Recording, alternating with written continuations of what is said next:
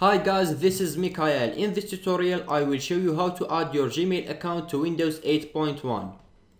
First, open the Mail application, then open the charm bar, click Settings, Account, Add an account. Choose Google, then type your email address and password and click Sign in.